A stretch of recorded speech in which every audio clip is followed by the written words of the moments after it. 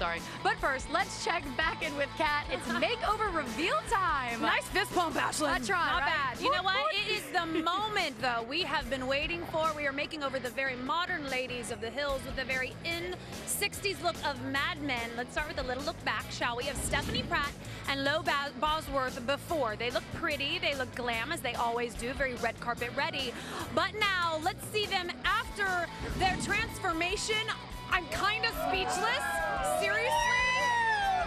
Seriously? Hang with you girls tonight. What do you think, Stephanie? What do you think, Lo? I love Bardot, and I feel like this hair is just so her. I and long sleeve mini dresses. I just want to wear this look every single Who day. knew? Lo, what do you think, Hot Pink Lips? I love it. I love the makeup. It's so soft and pretty. And this dress fits like a glove. Yeah, My it does, girl. goodness. You had responsible for recreating Mad Men in 2010. Fashion stylist Keylee Sanders, celebrity hairstylist, my friend Mateo Herreros, hello, and Stila makeup artist Sarah Lucero. Let's start with the fashions, okay? What did you do here? This is not what I, it's not expected at all. You really went the extra mile. Yes, absolutely. Well, with Stephanie, you know, we showed off her gorgeous legs. Yeah. And we went a little retro, hitting Mad Men with the lace detailing and this beautiful mauve color, you know, but you can still go mini and show it all off. And she does. Got, you know, some Margaret Rowe jewelry in, really beautiful.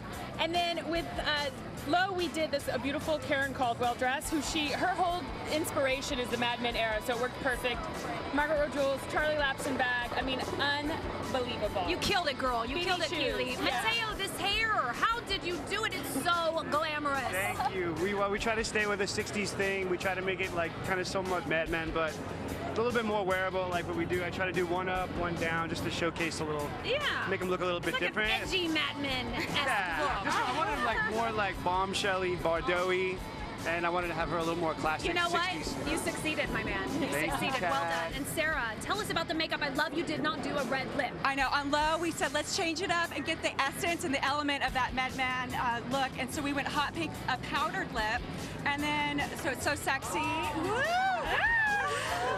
And sexy. Yeah, and then uh, Bardot, that is so Stephanie. It fits her. She just looks fabulous. I mean, she can't even speak for once. She's usually saying something. Um, I hear that you and the Stila team, by the way, have been working on some brand new products. Tell us everything. Okay, so Stila and E are teaming up and we're creating red carpet inspired palettes so you can also get your glamorous moments at home and these are available in January.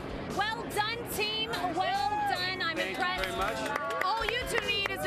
Draper at the after parties. I'm going to be joining you later, okay? Thanks so much. You guys are great sports. You look absolutely amazing. Oh, that was fun. That was fun. Um, and somebody equally adorable as these two, Ross Mathews. Maybe we should check back in with Ross up there in the sky.